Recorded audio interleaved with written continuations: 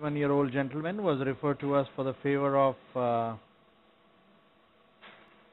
and evaluation. Patient has undergone a pneumatic dilatation elsewhere uh, about a few months back in September 2011 and still continues to have symptoms. So we see classical presence of fluid in a dilated esophagus. This is a classical image of a dilated esophagus with incoherent contraction. You can see incoherent contraction of the esophagus. And these are called the tertiary contractions of the esophagus. You can see that. And this happens because the LES is very tight and LES is not opening up. Look at this. These are classical tertiary contractions. Can you see that ring-like strict uh, contractions? And these are the tertiary contractions of the esophagus because they are trying to push and propel the contents of the esophagus across the LES, the lower esophageal sphincter. You can see LES is very tight, is not opening up. Even if after giving some air, you can barely see and you can see the spasm there again. So LES is in spasm, very tight LES. Again, it goes in spasm, you can see that. And this is the cause of patient symptoms of achalasia cardia, you can see here. So now very gently we are going to maneuver our scope. I'm trying to push my scope and with a classical give, I enter the stomach. Now this is a classic give you experience when you see a patient with achalasia cardia turn to clockwise, you can see some chronic gastritis, and then we go to the pyloric opening. It's mandatory to see the upper GI tract. You can see some erosions in the duodenum. So erosions are still there. Uh, this is a white light endoscopy. You can see erosions, and the moment you turn to narrowband imaging, this is the kind of imaging you will have on uh, NBI. So we go into this duodenal bulb, go up to the duodenal first and second part and turn right and do up movement and clockwise torque of the body and you enter the second part. At this stage you straighten the scope like the way you straighten the scope in ERCP. You will go deep into the D2, D3 junction. So you are right in the D3 area. You can see the third part of the duodenum. You are back into the stomach and then we will do J maneuver at the incisura angularis and you can see how tight is the grip of the LES on the scope. You can see that.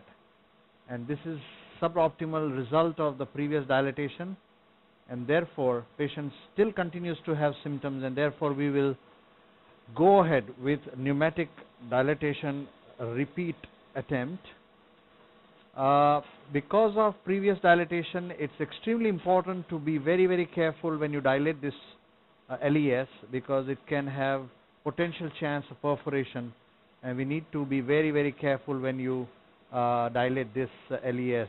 So what we're going to do is we're going to come to the LES lower esophageal sphincter area here and it is exactly at 30 almost 40 centimeters. We have measured it and now we'll push push the guide wire and gently remove the scope and over this uh, guide wire we will load a 30 mm balloon and try and achieve uh, reasonable dilatation. So we will now do pneumatic dilatation under fluoroscopy control and we will measure the balloon uh, distance on the scope. We'll put it the middle middle part of the balloon at uh, this is the balloon. So these are the two middle markers of the balloon. So this is a classical balloon you can see here. This is a pneumatic balloon 30 mm and these are the two central markers. So we will put these two central markers at 40 centimeters uh, from the incisors and we will put a tape on it like this. So we'll put a tape on the on the balloon. So this we will go and dilate. So we'll now load the balloon uh, you will see it on fluoroscopy as it goes down on the guide wire. So this is a 30 mm balloon and we will very gradually gently dilate because of previous dilatation you have to be very careful here and uh, we will lubricate it you can see on the fluoroscopy now uh, we will you will see the guide wire you can see the balloon going down You can see the markers going down. And now I'm coming right across. So the two markers are coming right across the LES.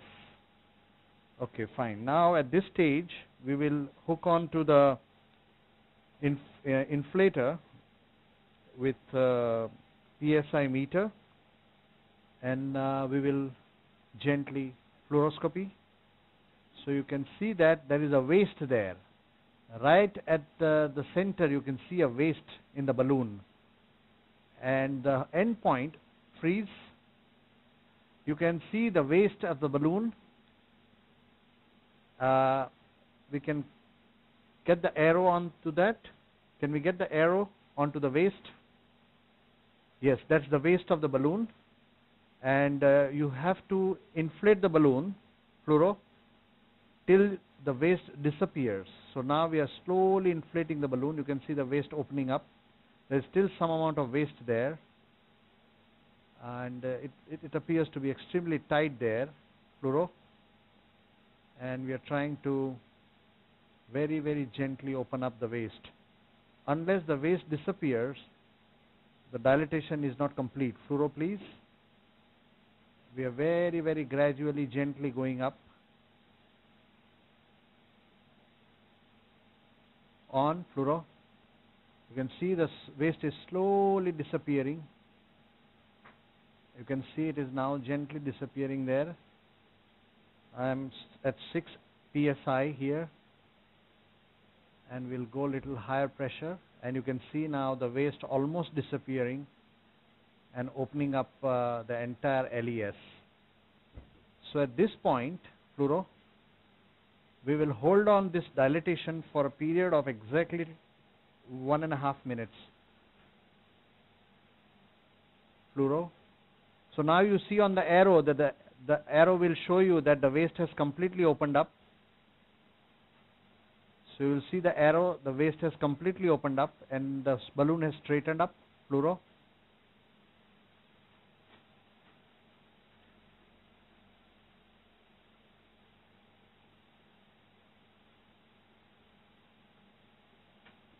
And this is the end point of dilatation when you have complete obliteration of the waist of the LES.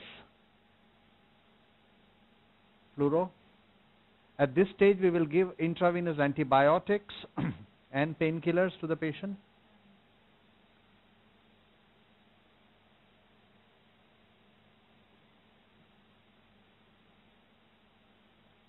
And we will do fluoroscopic evaluation at the same time.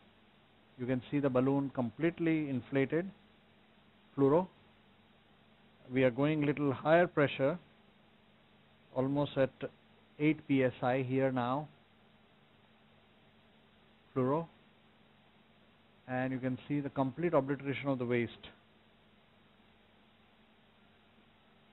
so now at this stage fluoro will deflate the balloon again. You will see the air going out of the balloon. You can see that de decompression. Flu stop fluoro. And we will reinflate again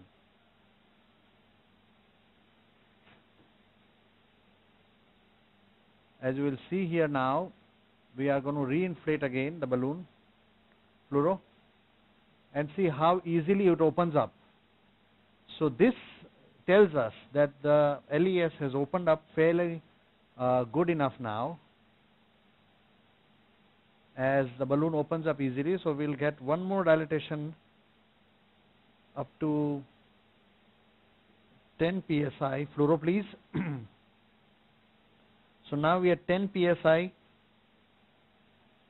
The balloon has opened up fairly easily without any resistance.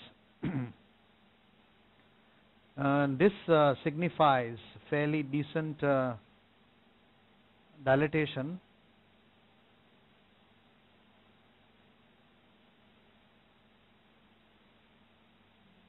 Fluoroscopy.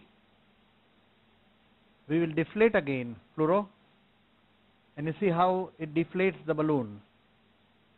Just to show how easily it has opened up, I will inflate the balloon one more time. One, two, fluoro, and 3. It just straightens up easily without any resistance. And this tells us, fluoroscopy please, there is adequate dilatation of the LES with 30 mm balloon. Now whenever we are dilating a patient who has already undergone a dilatation once, is very very important to start with a 30 mm balloon. Fluoro please. And not to go beyond 30 mm. We have gone up to 10 psi now. So that is the maximum pressure we have exerted at the LES. And this should uh, give definite relief to the patient. Now we'll deflate the balloon and I will take out the full assembly under fluoroscopy with the guide wire and we will do an endoscopy. So now after dilatation, we'll, let's have a very quick evaluation of what has happened.